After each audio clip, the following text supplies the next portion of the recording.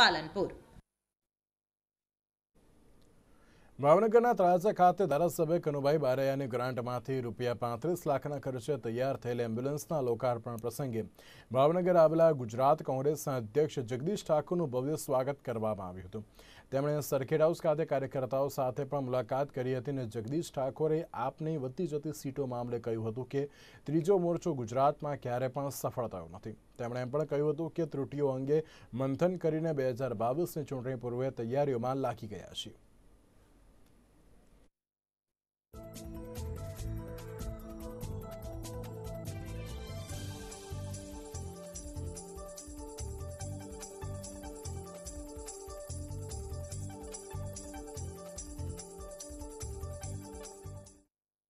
આજે અમારા ધારાસભ્ય શ્રી દ્વારા એમની ગ્રાન્ટમાંથી એમ્બ્યુલન્સ અર્પણ વિધિનો કાર્યક્રમ હતો.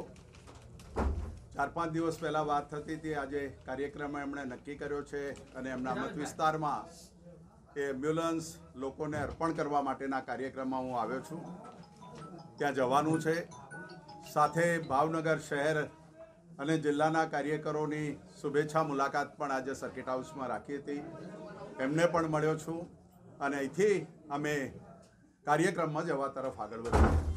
જગદીશભાઈ કોંગ્રેસની અંદર જે અત્યાર સુધી પરિસ્થિતિ હતી આવનારું ઇલેક્શન આવી રહ્યું છે અને જે રીતે ડિઝાઇન ગુજરાતમાં ગાંધીનગરના પરિણામો આવ્યા એ જોતા એવું લાગે છે કે કોંગ્રેસને આમ આદમી પાર્ટી કાપશે અને ભારતીય જનતા પાર્ટીનો જે વ્યૂહરચના છે તે સફળ થશે આપ શું કહેશો? આ પહેલી વાર આમ આદમી પાર્ટી નથી આવી.